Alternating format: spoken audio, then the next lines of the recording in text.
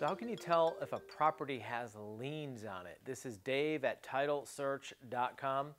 One of the most important questions to ask if you're looking at making a decision about real estate is whether or not that property has liens or encumbrances.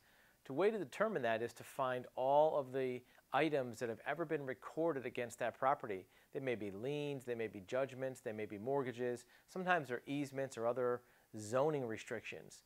Those would be encumbrances against a property. If you only need to know about liens, you have to search for all those first and then extract out just the liens from that list.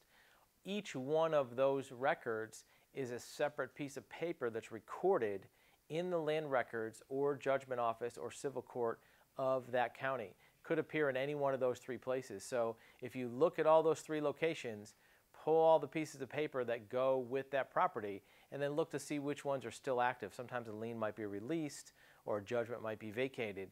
In those cases, it wouldn't still stick to the property. So if you do have more questions about determining whether or not a property has liens, you can reach us at our website at titlesearch.com.